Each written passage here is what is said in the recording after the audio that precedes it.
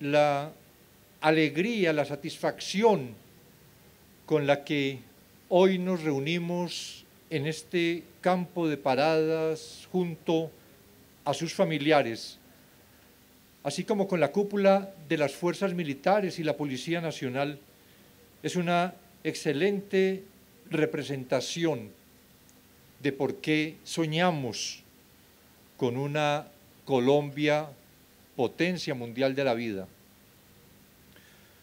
Hoy se materializa la recompensa a su moral, a su dignidad, a su motivación y al compromiso con la patria asumido desde el momento en el que juraron defender nuestra bandera. Y esto, naturalmente, es un verdadero festejo y celebración por la vida en unión con sus familias. Desde el gobierno del cambio hacemos un reconocimiento a su trabajo, a su vocación, a su disciplina. Han cumplido fielmente los requisitos de su carrera y eso los llevó a alcanzar el último grado de la oficialidad superior, el último escalafón previo a integrar el generalato de la República.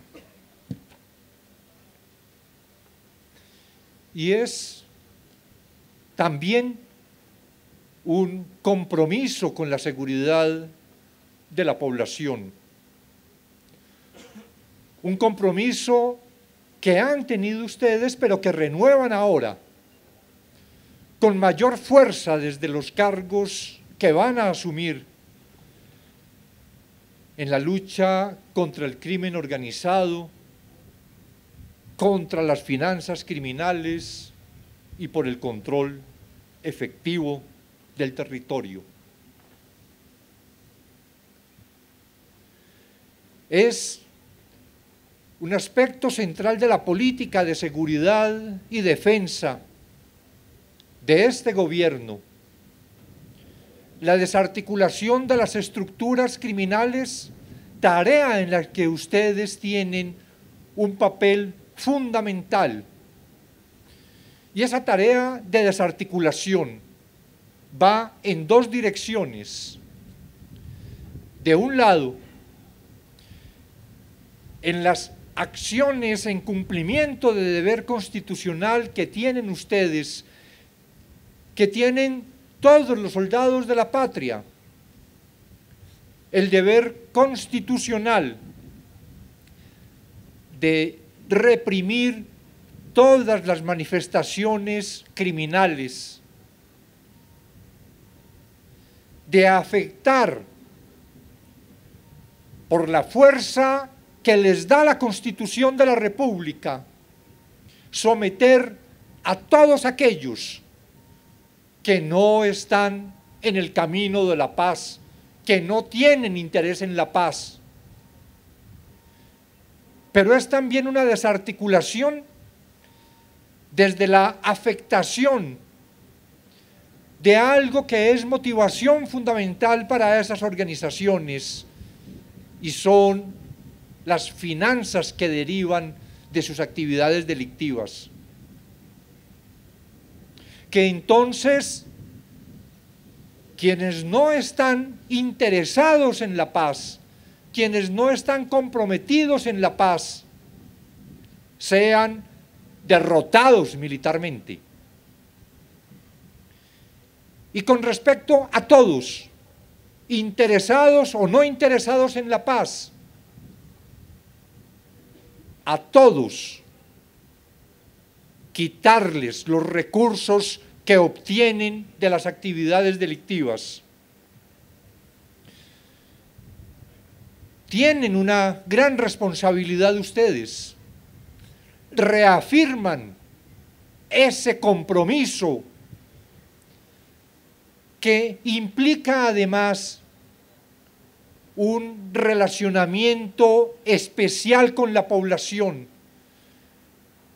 que permita diferenciar esa población que hemos visto instrumentalizada por las organizaciones criminales de personas que estén integrando las organizaciones, porque la población instrumentalizada, la población que sufre la acción de esas organizaciones, tiene que ser protegida.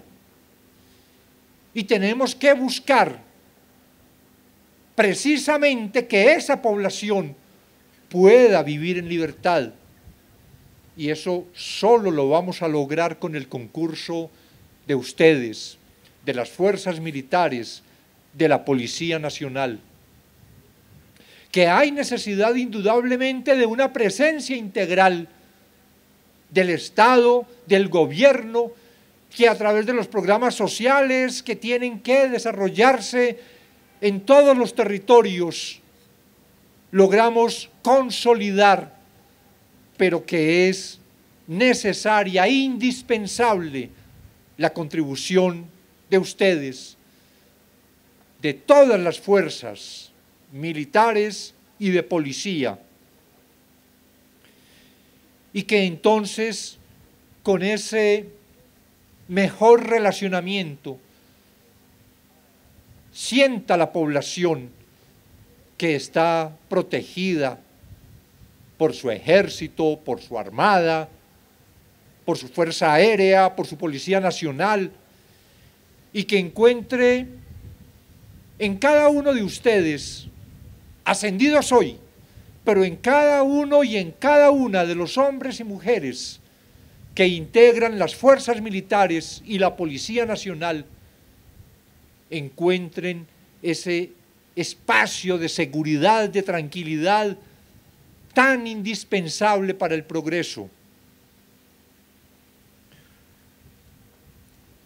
Una responsabilidad realmente muy grande.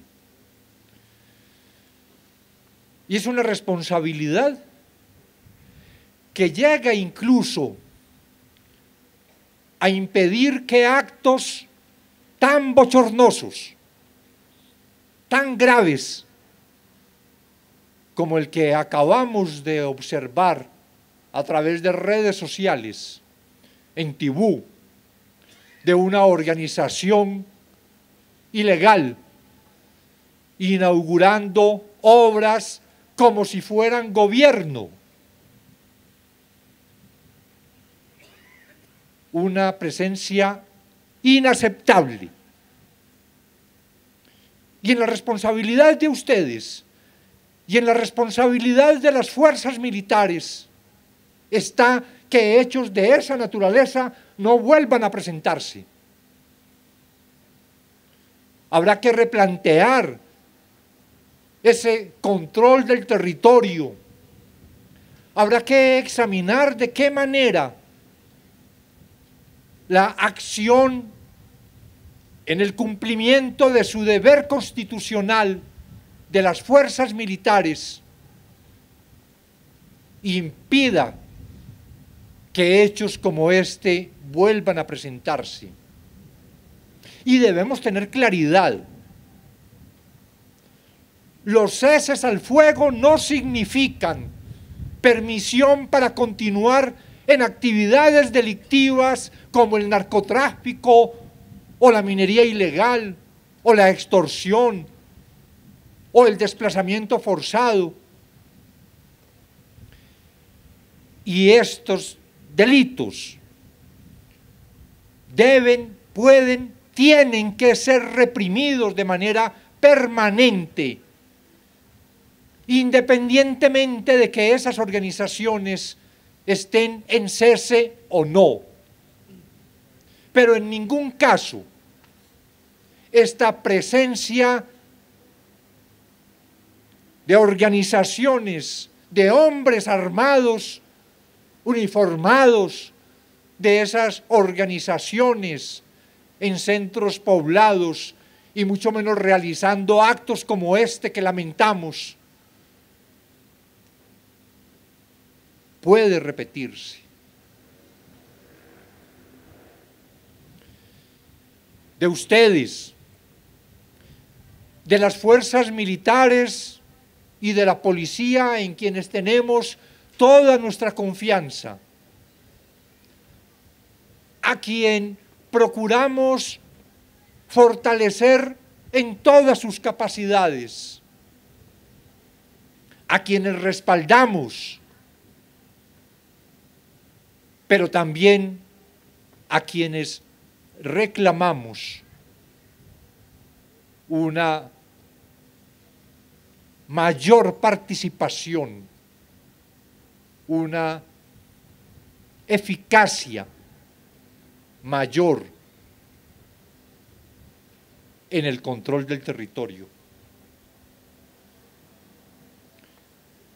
Hay extensas zonas del país en las que las organizaciones ilegales tienen una presencia, amenazan juntas de acción comunal, desplazan liderazgos sociales, imponen sus propios liderazgos. Y eso no puede continuar. Así como ha afirmado de manera repetida el presidente, que mediante programas sociales pretendemos arrebatarle los jóvenes a las bandas. Nosotros debemos tener una consigna. Las comunidades tienen que vivir en libertad. Y especialmente, en primer término, a las Fuerzas Armadas les corresponde garantizar esa vida en libertad de las comunidades. Muchas veces se ha afirmado que existe confusión en las acciones que pueden desarrollar las fuerzas militares en territorios en los que hay organizaciones que se encuentran amparadas por el cese al fuego. Pero yo creo que en esto no debe haber ninguna duda y sé por las instrucciones que de manera permanente el comandante general de las fuerzas militares, pero también los comandantes del ejército, de la Fuerza Aérea, de la Armada, imparten a sus hombres. Sé que las instrucciones son claras. Y esas instrucciones son las que hay que acatar. Son las que tienen que, por las que tienen que responder también en todos los territorios hombres y mujeres de la fuerza pública. Y en el cumplimiento de esas instrucciones y en el deber constitucional que se impone a las Fuerzas Armadas para controlar el territorio, para brindar seguridad, para garantizar soberanía, para garantizar también convivencia, tienen todos los integrantes de la fuerza pública, toda la competencia, toda la potestad, toda la capacidad. Y a eso instamos. Tenemos que recuperar la institucionalidad en su conjunto con una acción integral, la que se desarrolla desde las Fuerzas Armadas y la que tiene que desarrollar también el gobierno desde sus programas y su presencia en las comunidades. Y tengan ustedes